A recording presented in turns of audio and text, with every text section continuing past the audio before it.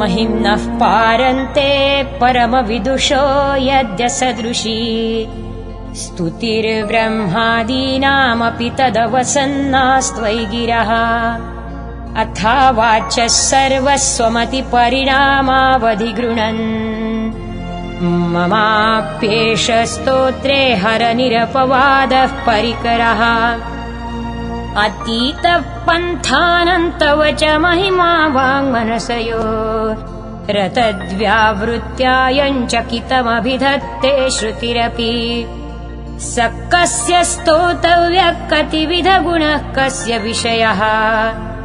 पदे त्वर्वाचीने पतति न मनः कस्य न वचः मधुस्फीता वाचः परमममृतम् निर्मितवत्। तव ब्रह्मन् किं वागपि सुरगुरोर्विस्मयपदम्।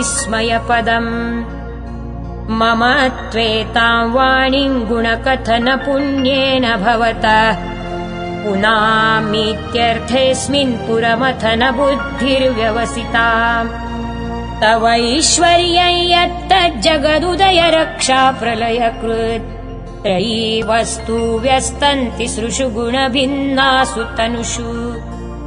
अभव्यानामस्मिन् वरदरमणीयामरमणिम्। विहन्तुम् व्याक्रोशिम् विदधत